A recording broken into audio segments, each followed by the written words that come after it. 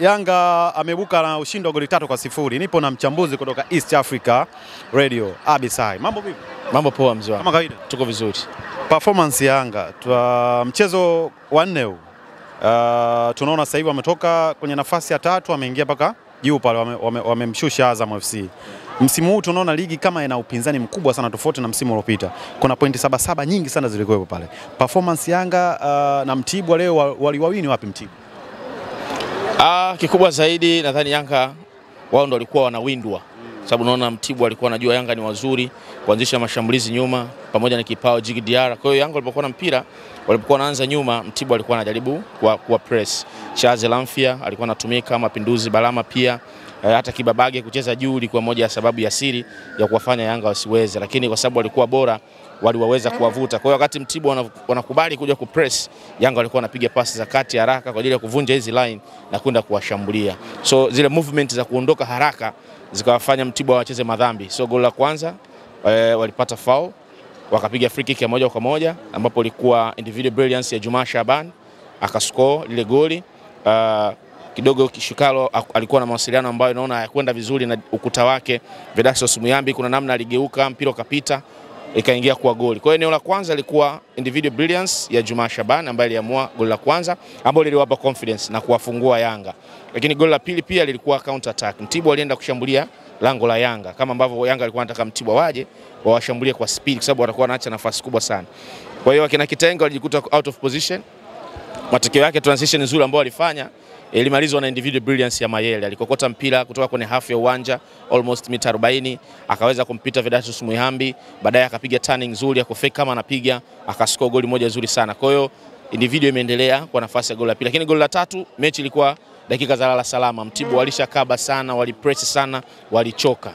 Kwa hiyo umakini ukapungua, wakamwacha Aziski ambaye alitumia stadi yake akapress. Kwa hiyo kwenye maneno yangu, kitu ambacho kimejirudia ni ile individual brilliance ya wachezaji, ndio ambayo ilikuwa tofauti kubwa ya Mtibwa Sukari na Yanga leo, kwa sababu kabla ya hii mechi wote walikuwa na alama sawa, e, walikuwa na alama saba. Kwa hiyo ungeweza kuona kwamba Mtibwa nao walikuwa na rani nzuri, lakini leo wamekutana na Yanga ambao bora zaidi. Hii tofauti ya ubora imeweza kuwatofautisha. Uh, Stefan Aziziki, mashabiki wa Yanga uh, mara baada ya mpira kuisha walikuwa na furaha kubwa sana. Hata yeye tumeona alikuwa na furaha mara, mara baada ya kufunga goli. Wachezaji Uh, wenzake tuliona walienda kumpongeza. Hii inaweza ikawa uh, kwake yeye inamrudisha mchezoni zaidi, kwa sababu tunaona kama umakini kwenye mechi uh, mbili tofauti ilikuwa kama umepungua kwake.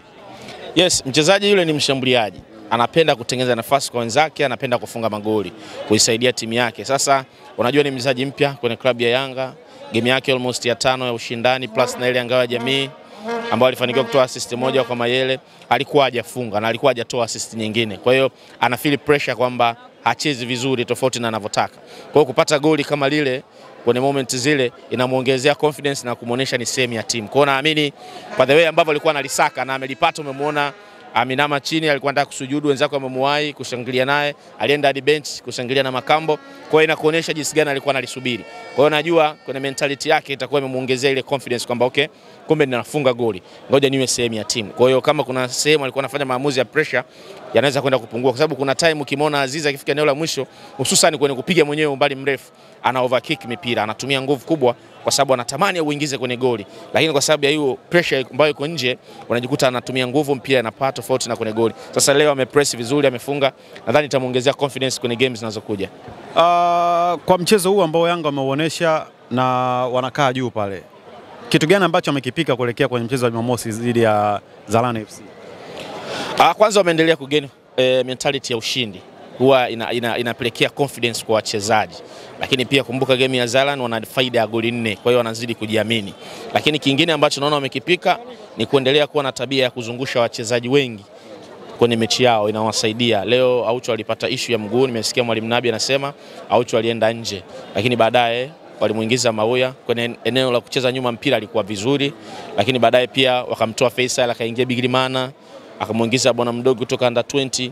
Baadhi ya mabadiliko ambayo aliingia hayakuathiri timu kwa eneo kubwa, still timu ikapata ushindi mkubwa. Kwa hiyo hata mechi ya Zara ambayo wana faida ya goli nne, sipati wasiwasi mimi kama mchambuzi kuona hata Yanga akisema azungushe timu, bado wana watu wa maana ambao wanaweza kucheza kwenye timu Imagine leo hakukuwa na nahodha Bakari Mwamnyeto ambaye huwa anawasaidia kwenye zone ya defense. Leo hakuwa Msheri ambaye alicheza mechi ya Zara iliyopita. Lomalisa hakuhusika kabisa. Kwa hiyo unaona utajiri wa kikosi. Kwa hiyo ule upana wao ambao wanao ndio kitu ambacho unaona wanaendelea kuishi nacho. Kwa hiyo mechi ya Zala nadhani hii inaweza kawa faida kwao pia. Tumalizia na kesho uh, mchezo wa Tanzania Prisons na Simba.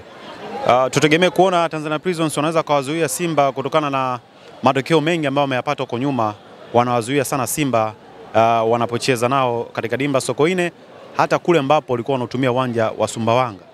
Yes, kikubwa zaidi una, unakuta kuna vitu viwili. Aina ya eneo la kucheza huwa aliwaruhusu sana Simba kupiga pasi za kuburuza na kusogeleana.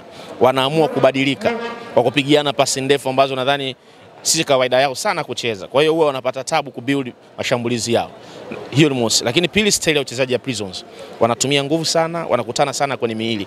Kwa hiyo wakati mwingine wakiwakuta sana wachezaji wa Simba wanawaogopesha na wanawapa pressure. Kwa hiyo wanajikuta hapo kwenye situation hawafanyi maamuzi mazuri kwenye final third.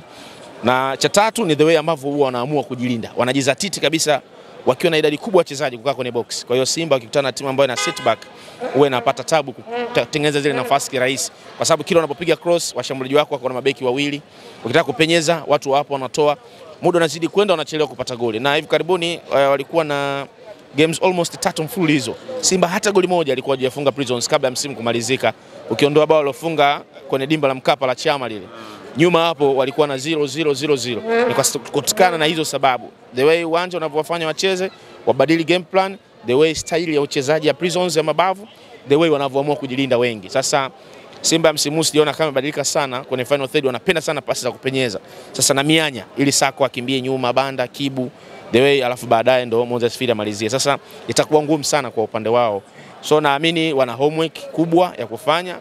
Uh, mwalimu bado ni mpya kwenye timu lakini anajua style ya Prisons wanavyocheza. So nadhani kwa asilimia kubwa mechi itakuwa ngumu sana kwa upande wa Simba kutokana Prisons hawajabadili hivi vitu, uwanja utakuwa ule ule, namna ya kucheza ndio Prisons huwa wanapenda hivyo hivyo. So naamini watampa game Simba, hata kama ni ushindi, nadhani itakuwa ni scoreboard ya magoli machache sana. Nafikiri ngoja tumalizie na hili dogo ambalo uh, limenijia lime, lime kichwani mm. uh, Simba wamewasili wame, wame leo Mbeya saa moja, wameondoka huku saa moja, na maana wameingia kama kwenye saa mbili Mbeya. Hali ya hewa inaweza ikawa ikawaadhibu Simba kutokana na hali ya hewa sasa hivi Mbeya ni baridi, na Simba wameondoka wame hapa leo hii kuelekea Mbeya. Ah, kwa hoja ya kwamba kuna wachezaji wengi kwenye kikosi cha Simba wamezoea hali ya hewa ya Mbeya kwenye michezo tofauti, inaweza isiwe ishu sana. Issue sana inaweza kawa labda kwa wageni, lakini kiufundi zaidi, hali ikiwa ya baridi, manake unaolazimisha wachezaji wakimbie zaidi ili wajenerate hit kwenye, mode, kwenye miili joto ili waweze kucheza. Kwa hiyo kuna eneo huwa ni faida kwenye kiufundi kwamba wachezaji wanakuwa wanatafuta joto lenyewe, wanakuta wana, wanafanya kazi, lakini kwa yule ambaye hatakuwa anafanya hivyo, ile hali ya hewa itakuwa inapiga kwenye mwili wake, itakuwa inasinyaisha misuli, kwa hiyo anajikuta ni rahisi kuumia, misuli kumshika, au hapa, hayupo kwenye ile momentum ya game. Lakini kwa sababu najua Simba ni wazoefu kwenye ligi na wamekuwa wakicheza Mbeya mara kadhaa na orodha wachezaji wengi wanao, hii inaweza isiwe issue sana kwa upande wao. Nadhani hizi sababu za kiufundi ndio zina nafasi zaidi kuliko hii ya hali ya hewa ya Mbeya. Mimi nikushukuru sana. Shukrani sana.